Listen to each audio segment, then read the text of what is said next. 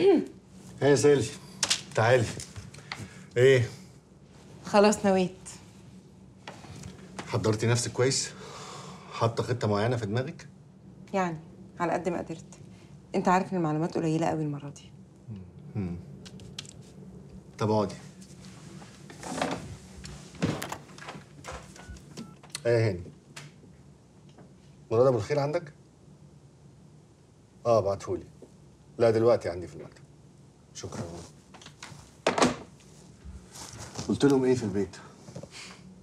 لا ما هم خلاص بقوا متعودين على جناني لما رجعت لهم آخر مرة بعد تحقيق المخدرات أمي ما بقتش مصدقة. كان ناقص تبلغ عني. وطبعا كدبت عليهم عشان تطلعي المهمة دي. بصراحة يعني قلت لهم إنك بعتني أعمل تحقيق عن السياحة بعد الثورة. ادخل. مساء الخير يا فندم. مساء الخير يا مراد. إزيك؟ أنا كنت عايز أطمن عليك. الحمد لله تمام. ها؟ شغال على إيه يا بطل بقى دلوقتي؟ آه مصابي الثورة صوار أم بلطجية تمام. طيب خلص وببلغني. حاضر. بعد إذن حضرتك. اتفضل. ده اللي حصل لمراد لما اتكشف في فيلا سالم الجرحي في الغردقة يوم راس السنة. لسه برضه مصممه تسافري تصدق أنا لو كان عندي لحظة تردد واحدة قبل كده بعد اللي حصل لمراد لو انطبقت السما على الأرض أنا مش هرجع من الغردقه غير وأنا معايا فايل كامل عن سالم الجرحي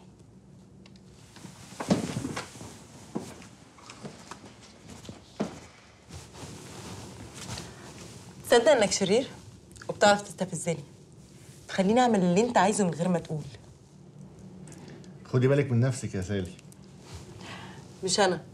خد أنت بالك من نفسك. ورايا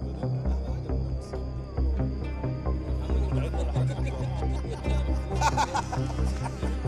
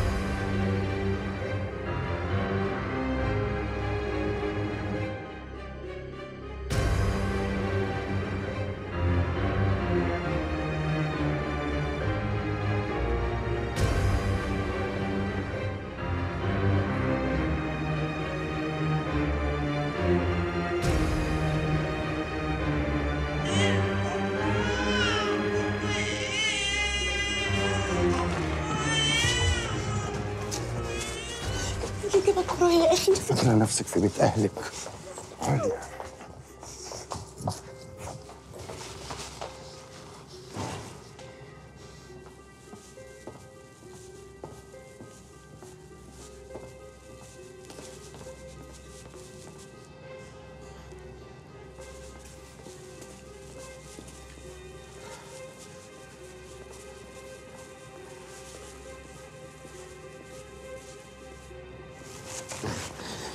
جراك ورايا يا أخي مغفل هضيع نفسي عشان واحدة هبلة.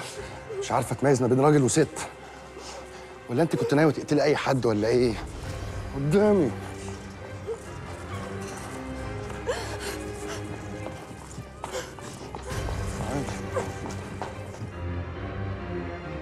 تعالي تعالي أنت جاي ورايا ليه يا أخي؟ ما تسيبني في حالي يا أخي. تعالي من أول ما شفتك حسيتك مش مظبوطة. سؤالك عن الفيلا. كلامك عن أهلك وإخواتك.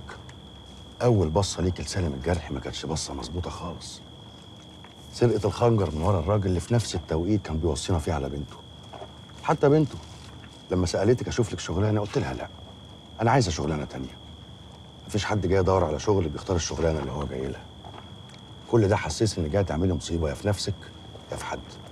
مشيت وراكي بعد ما خلعت مني طبعا. ودخلت وراكي الفيلا زي ما دخلتي بالظبط. والباقي بقى انت عارفاه. بصي أنا مش هسألك كنت عايزة تقتلي سالم الجرح ليه ولا ليا دعوة بحياتك أصلا. لكن أنا ما أقدرش أشوف حد لسه ما هضمتش معاه اللقمة اللي كلتها في خطر وأقف أتفرج وأعمل عبيط. ممكن تسيبني وتمشي بقى؟ لا يا حلوة ما كانش يتعز أنا مش هسيبك كده في وسط الشارع في نصاص الليالي. أنا مش هسيبك غير في بيتكم لما تبقي في الأمان. وبعد كده ابقي اعملي اللي أنت عايزاه. وده كمان لازم يرجع لاصحابه. العيش والملح ليهم حق عليا. وليكي عليا لما تقولي لي كنت عايزة تقتلي سالم الجرح ليه؟ هبقى أجيب لك واحد على حسابي. خدي واطيه باشا.